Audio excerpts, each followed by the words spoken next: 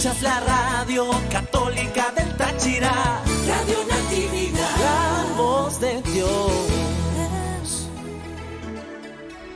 Este es un programa mixto, en horario todo usuario, el cual no requiere la supervisión de sus padres, madres, representantes o responsables. Es una producción nacional. Hay alegría entre los ángeles de Dios, música celestial, fiesta. Dios ha preparado para los que lo aman cosas que nadie ha visto ni oído y ni siquiera pensado. Radio Natividad les invita a escuchar De Fiesta en el Cielo con Ali e Isidra.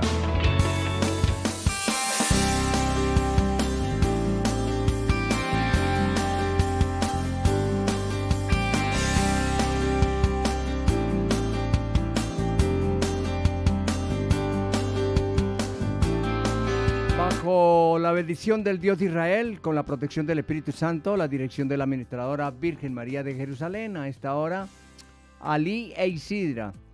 Sí, señores, Isidra en el cielo, Ali en aquí en esta dimensión, esta experiencia que el Señor nos regala de estar eh, compartiendo con ustedes la salvación, regalo precioso de Dios. Tanto amó Dios al mundo que entregó a su Hijo único para que todo el que crea en Él no se pierda, mas tenga vida.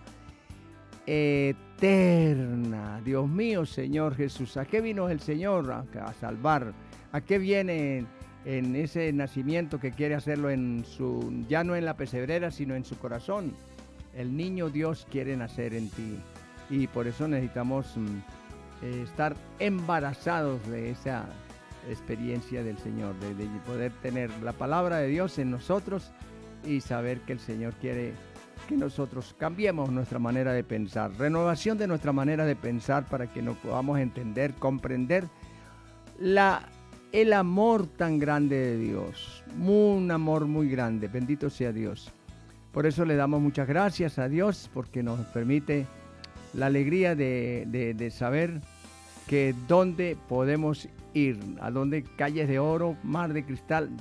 Bueno, no nos podemos ni siquiera imaginar cómo es esa, esa, esa habitación que el Señor nos tiene.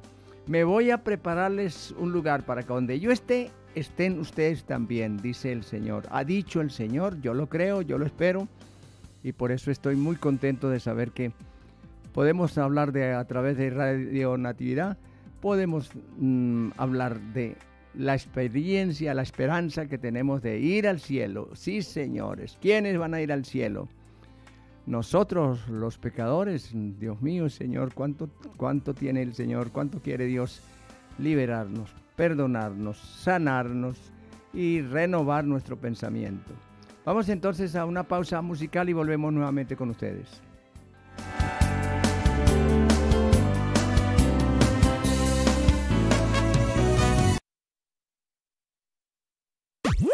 Todos los días, todos los meses, todo el año. Tenemos preparado para ti una programación especial. Natividad. Natividad. Vive el tiempo de Adviento en compañía de Radio Natividad. Ven Señor Jesús, ven pronto a mi vida. Adviento en Radio Natividad.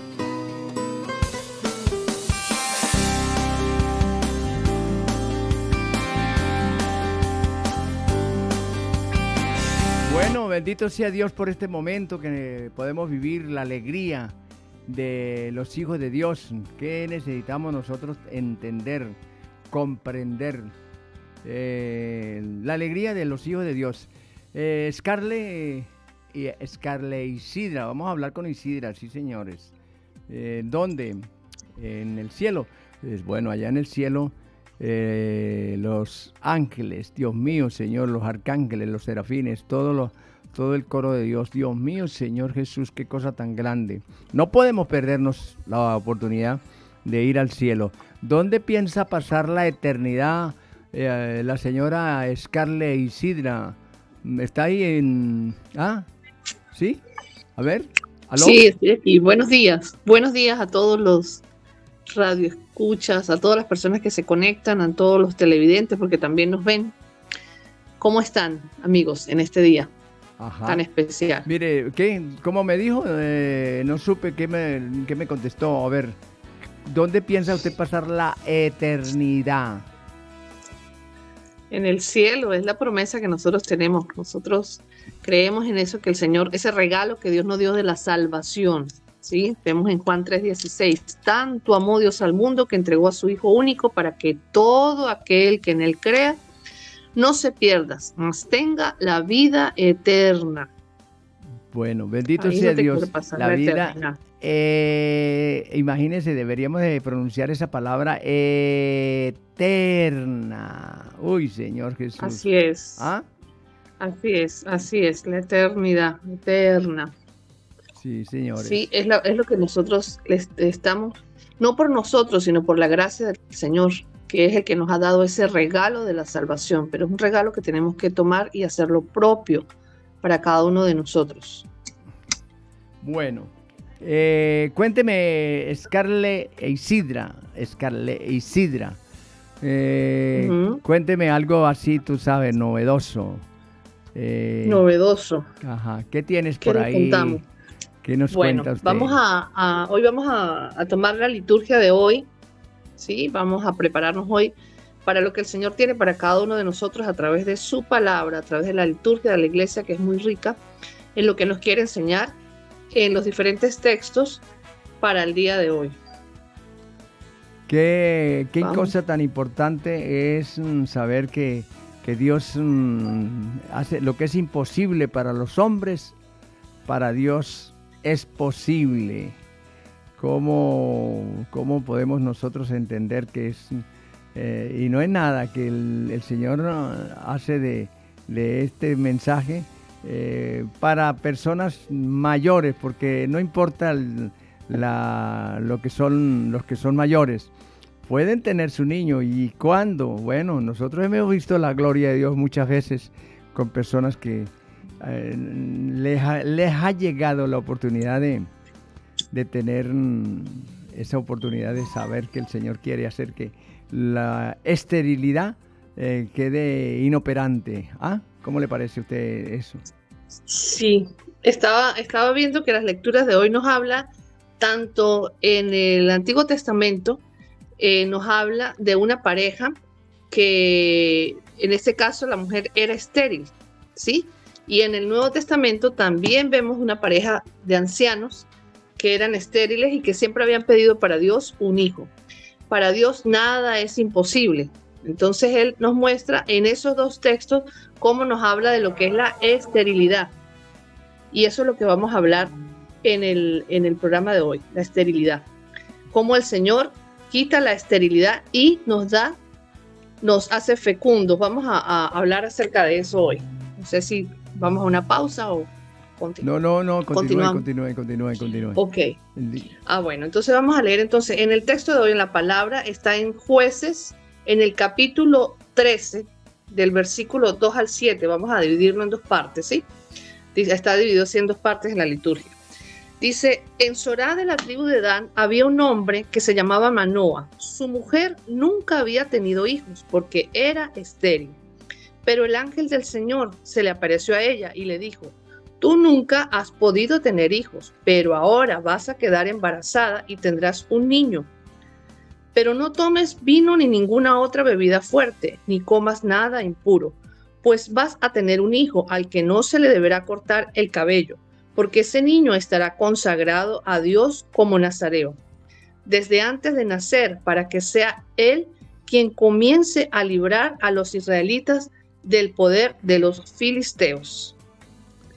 Dice, la mujer fue a contárselo a su marido y le dijo, un hombre de Dios vino donde yo estaba y me impresionó mucho, pues parecía el ángel mismo del Señor. Ni yo le pregunté quién era, ni tampoco él me lo dijo. Lo que sí me dijo fue que yo voy a tener un hijo y que desde ahora no debo tomar vino ni ninguna otra bebida fuerte ni comer nada impuro, porque el niño va a estar consagrado a Dios como nazareo desde antes de nacer y hasta su muerte. Continuamos entonces, ¿sí? ¿O, qué va a agregar, padre? Sí, bueno, imagínese usted lo que significa una, un mensaje cuando es de, viene de Dios. después de ser estéril, se convierte en una mujer fértil. Eh, el, primer momento nos muestra el Señor todo lo que tiene para que nosotros podamos entender la, lo que viene en nosotros en el Nuevo Testamento. Pero aquí en el Antiguo Testamento nos da la, la intención de que nosotros podamos vivir con la confianza y la seguridad de que, mm, lo, que lo, que, lo que nosotros mm, podamos entender, no, dudar en ningún momento eh, de lo que el Señor puede hacer de una persona estéril. Eh, usted puede ser una persona estéril y empieza a dar fruto. ¿Cuándo empieza usted a dar fruto? Cuando de su boca salen cosas que edifican, que alientan, que animan, que dan fruto a su debido tiempo. ¿Por qué? Porque nosotros podemos ser eh, los que podemos dar la buena noticia.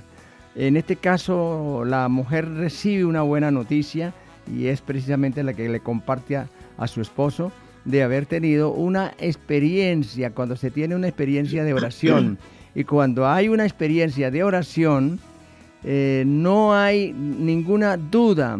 Si la duda llega a su corazón, y te dice, déjame entrar, dile, no, no, no, Cristo vive en mí y no hay lugar para ti. Entonces, aquí la mujer recibe el mensaje y se lo da a su esposo. Y su esposo no le queda ninguna otra duda sino saber alegrarse de, de, esa buena noticia. La mujer fue a contarle a su marido, un hombre de Dios ha venido a visitarme. Su aspecto era como el del ángel de Dios, terrible en extremo. Yo no le pregunté de dónde venía y él no me manifestó su nombre, pero me dijo, vas a concebir a dar a luz un hijo de ahora en adelante. Entonces, ¿cuál es el mensaje? Que nosotros tenemos la oportunidad de cambiar nuestra manera de ser de un momento a otro por una inspiración, por un momento que el Señor nos regale. Entonces, vamos entonces a una pausa y volvemos nuevamente con ustedes.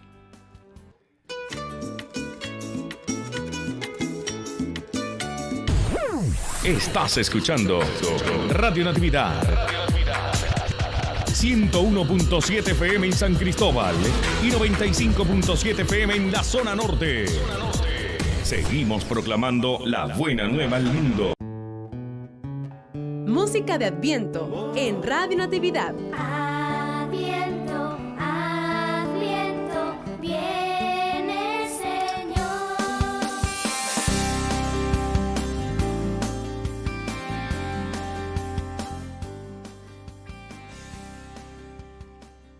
Bueno, entonces estamos conversando con nada menos que con Isidra, digo, perdón, Scarle Isidra. Scarle, la hija mía, la hija mía se llama Scarle Isidra y está en este momento en Brasil y me estás diciendo en este momento cosas muy importantes de lo que significa la respuesta de la oración. Eh, adelante eh, Isidra, Scarle Isidra. Sí, estamos, continuamos con la lectura. Estamos hablando de jueces, leyendo la palabra en jueces 13, del versículo 2 al 7. Estamos viendo cómo el, ángel del Señor se le apareció a, se le apareció a la, a la mujer que ella era estéril, ¿sí? Aquí tenemos, ajá.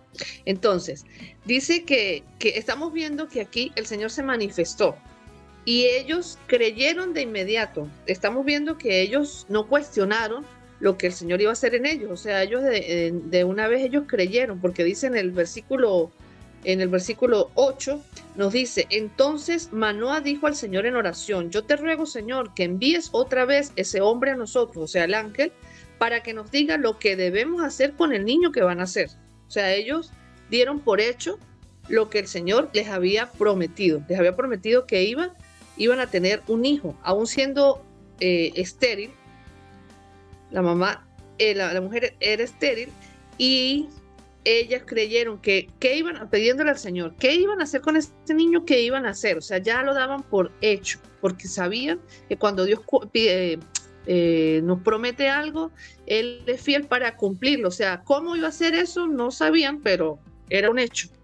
Entonces, dice que, que ese niño iba a ser consagrado al Señor. ¿Qué significa ser consagrado? Apartado para una misión, para un propósito. El Señor cuando nos, cuando nos consagramos a Él, cuando, cuando Él nos aparta para una misión, nos da un propósito, nos permite cumplir algo que Él tiene preparado para cada uno de nosotros. Entonces vemos más adelante en el versículo del 24 al 25, dice, a su tiempo, la mujer tuvo un hijo y le puso por nombre Sansón. El niño crecía y el Señor lo bendecía. El niño crecía y el Señor lo bendecía. Y un día en que Sansón estaba en el campamento de Dan entre Sorá y Estaol, el Espíritu del Señor comenzó a, a manifestarse en él. Entonces, nosotros vemos, estamos hablando de lo que significa la esterilidad, ¿sí? Pero muchas veces nosotros somos tenemos esterilidad espiritual. Nosotros necesitamos llenarnos de la gracia del Espíritu Santo, que es el que nos da los frutos de su espíritu para llevar a otros, para cumplir un propósito, para cumplir una misión, que es lo que el Señor tiene para cada uno de nosotros, ¿sí? Él tiene un plan para cada uno de nosotros. Entonces muchas veces tenemos esterilidad espiritual dentro de la iglesia. ¿Querías decir algo más, Padre?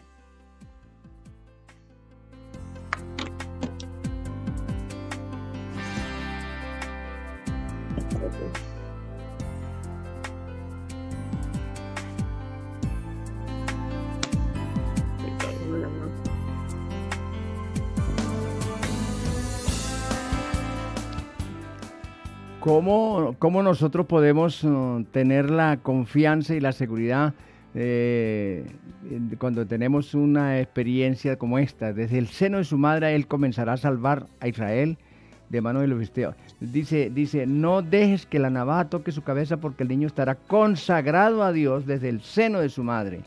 Entonces, ¿cómo nosotros podemos uh, estar en esta experiencia hermosa que el Señor nos da de un embarazo? y que no se está mm, eh, con malos pensamientos satánicos, como es cuando la gente piensa en, acabar con el, con, el embarazo por un aborto. Entonces, ¿qué es lo que, lo que nosotros podemos hacer? Dios mío, Señor Jesús, tendremos que pasar por la esterilidad para poder apreciar lo que es un embarazo. Eh, tendremos que pasar por todas esas dificultades que, que las limitaciones que el, que el, tiempo nos, nos, da para poder nosotros entender qué quiere Dios con nosotros cuando nosotros deseamos grandemente.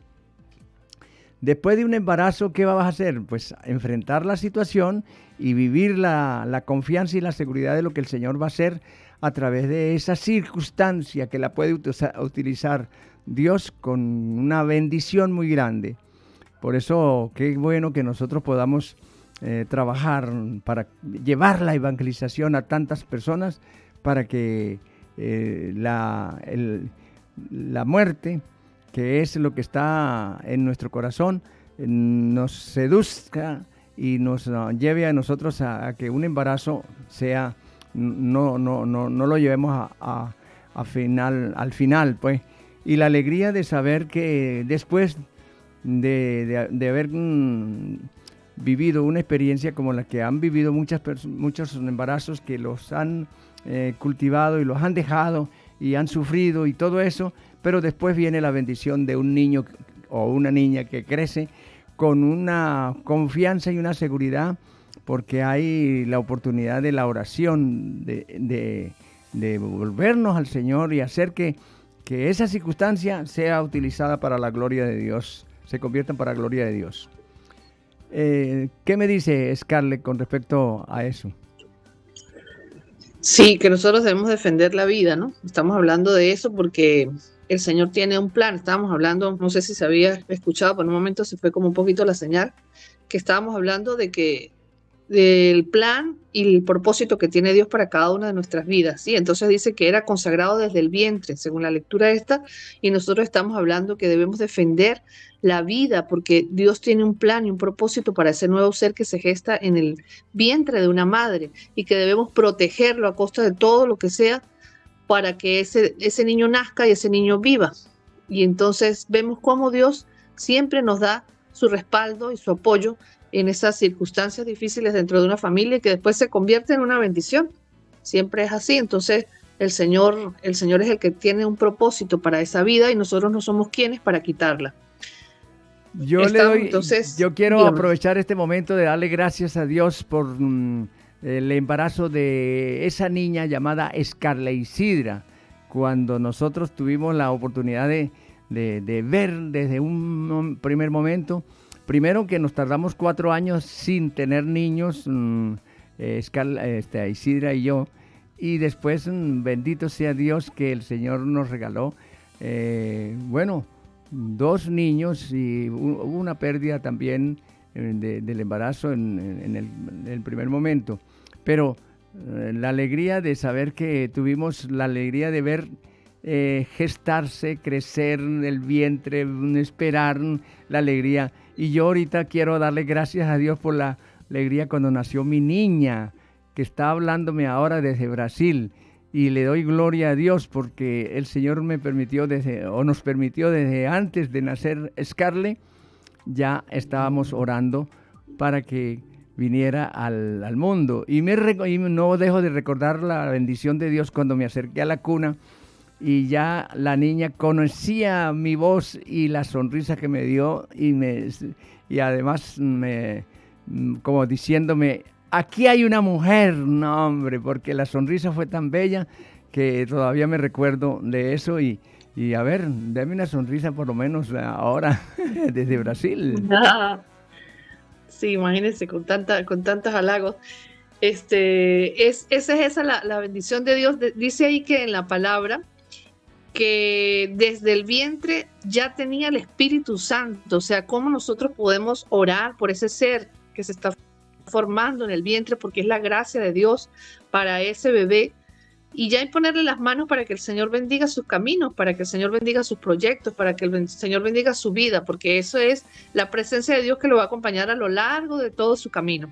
Entonces es eso, pedir la gracia de Dios y, y, qué bello, ¿no? Pues recordar todas esas cosas es pensar que lo que el Señor tiene preparado para cada uno de nosotros es un plan, un propósito y una vida con, con los frutos del Espíritu Santo, sí, que Él no quiere que tengamos una vida estéril, sino Él quiere que nosotros tengamos una vida llena de frutos para que podamos llevar a otros el mensaje de la palabra, el mensaje de Dios, el mensaje de lo que el Señor tiene preparado para cada uno de nosotros. Dios mío, Señor, qué, qué regalo tan grande es la oportunidad que nosotros vivimos en esta liturgia cuando estamos en espera de, lo que el Señor quiere hacer a través de eh, Dios mismo, que ya ahora no es un embarazo como, para, como el de Sansón, sino que ya es Dios mismo que llega al, al, vientre de una niña de 14 años como es la Virgen María. Pero también la oportunidad de mostrar que viene alguien muy importante, también muy importante, que va a abrir eh, el espacio, va a, proclamar la llegada del Señor y ese es mm, precisamente eh, el hijo de Zacarías. ¿Quién era Zacarías? ¿Ah? ¿Quién sería Zacarías? Vamos, vamos a, ponernos en contexto entonces quién era Zacarías. eso lo vamos a eso lo vamos a continuar porque vamos a, vamos a un, a un, tema musical y volvemos nuevamente contigo, Scarlett. Okay. Todos los días, todos los meses, todo, el año. Tenemos preparado para ti una programación especial. Natividad. Natividad. Vive el tiempo de Adviento en compañía de Radio Natividad. Ven Señor Jesús, ven pronto a mi vida. Adviento en Radio Natividad.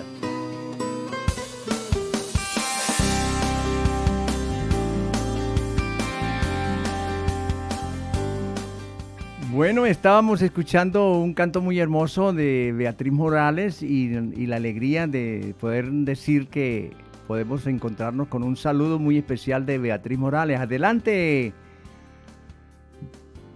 Beatriz Morales. Hola, hola, muy buenos días a todos los oyentes de este hermoso programa.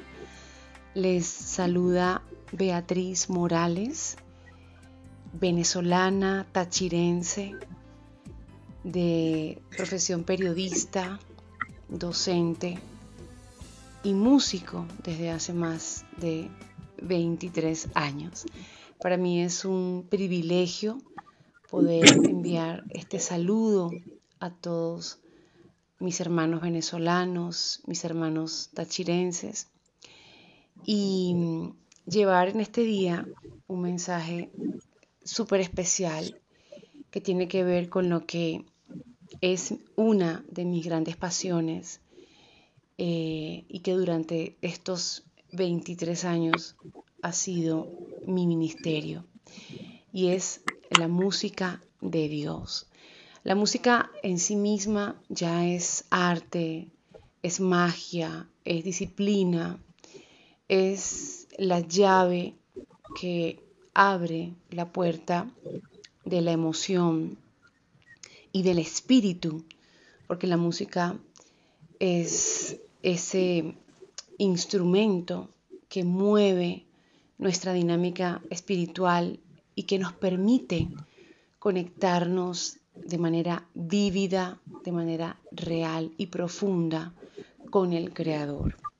Y es que hacer música para Dios no solo es un talento, sino que es una inspiración del mismo Dios que dirige las notas, las palabras, las ideas, para que pueda surgir una melodía llena de su voz, porque es su voz lo que cantamos los músicos católicos, es su mensaje de amor, es su evangelio, es su buena noticia, lo que llevamos a través de la música y que logra muchísimas veces impactar en lo profundo del alma y del corazón de quien escucha.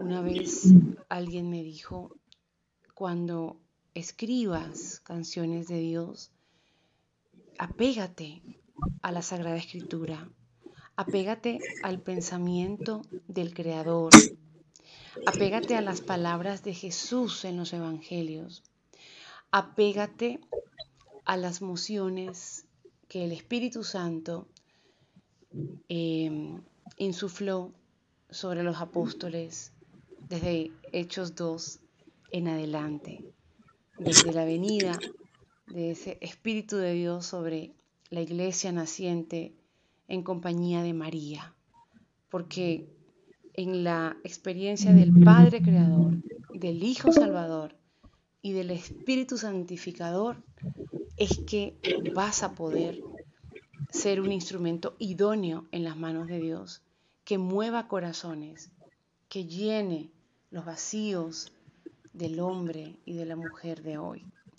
Esta experiencia de cantar para Dios en estos 23 años ha sido un camino maravilloso, un camino que me ha permitido eh, conectar con muchas personas, con cientos de personas, de comunidades, de eventos, de congresos, pero sobre todo ha sido una experiencia para mí muy enriquecedora porque a través de la música yo misma he podido eh, ir construyendo poco a poco mi relación personal con Dios.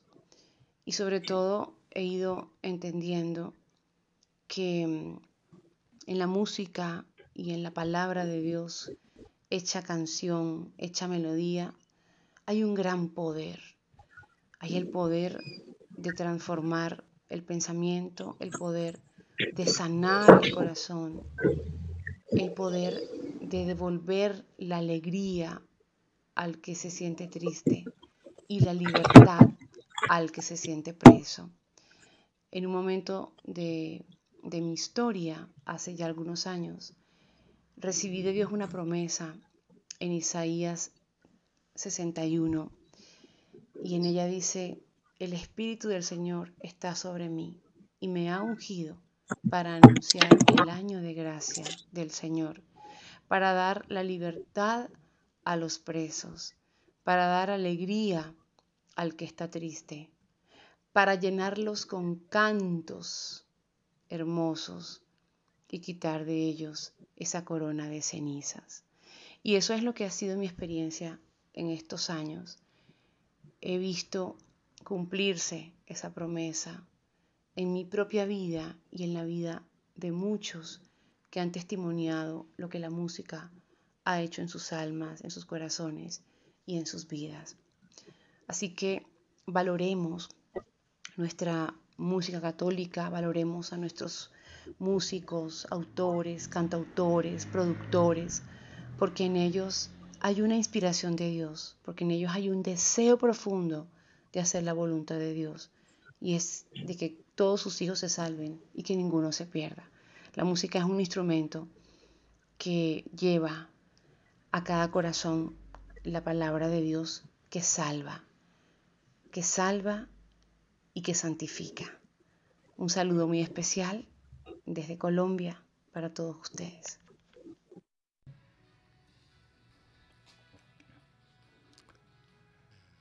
Gracias Beatriz por este momento y saber que el Señor quiere que nosotros seamos portadores de la buena eh, noticia musical, la alegría de vivir para la gloria de Dios. Eh, estamos hablando con Scarlett. Eh, Scarlett, por favor, discúlpanos este momento. Mm, qué, bueno, qué bueno ese saludo. Que el Señor bendiga también a Beatriz de donde esté, que el Señor llene de su presencia y que siga llevando ese mensaje a través de la música, bello instrumento para Dios. Bueno, eh, cuéntenos, eh, Scarlett, porque ya se nos fue el tiempo y queremos, mm, bueno, la alegría de, saber que el Señor quiere que nosotros podamos entender cómo es mm, la espera de, del que va a venir precisamente a hablarnos a nosotros de, Jesús, el que, el que va a ser la voz que va a romper con ese silencio, porque hubo un silencio muy, eh, con mucho tiempo de, de, la, de entrelazar el Nuevo Testamento con, con el Viejo Testamento, porque primero tiene que estar el Nuevo Testamento, porque ya es Dios personalmente que nos mm, viene a manifestarse en nosotros. ¿Qué dices tú de, de esa experiencia? Sí, que, que el Señor nos pide que nosotros en este momento preparemos nuestro corazón. Esta semana nosotros estamos a la expectativa, a la espera de que el Señor nazca en cada uno de nuestros corazones y que nosotros podamos ser, hoy queríamos eh, hablar también como esa, eso que Dios dio ese anuncio también a través de Juan el Bautista, ¿sí? Dice que es el, uno, el último profeta que vino para anunciar el camino del Señor, que vino para dar ese mensaje y eh, presentar al Señor, abrir el camino. Y el Señor obró a través de sus padres también, el Señor les dio la gracia de, vivir esa experiencia, el anuncio también para ellos, de que aún siendo ancianos, aún siendo estériles, el Señor les dio la gracia de también tener un hijo y vemos la, la, manifestación de Dios a través de un gran profeta como fue Juan el Bautista. ¿Qué nos pide el Señor? Que nosotros no seamos estériles espirituales, sino que buscamos tener la gracia de su Santo Espíritu